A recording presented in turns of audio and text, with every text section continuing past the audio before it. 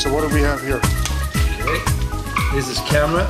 I don't know what it's called in Canada when you got a camera that's uh, with an external lens. SLR. Uh, SLR, SLR maybe. DSLR camera. Yeah, inside a housing, a metal housing that we suck vacuum in.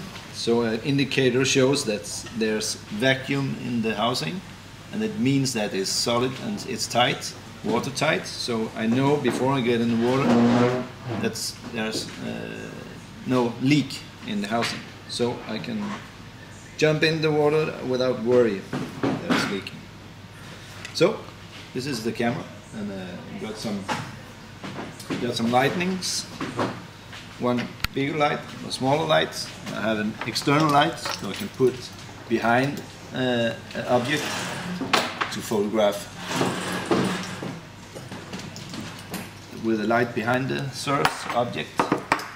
Gets more more contrast in the picture. How much is that worth?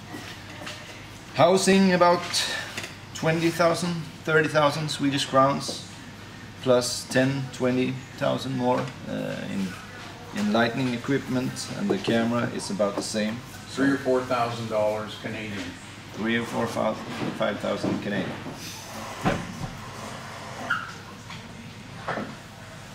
So, that's my baby.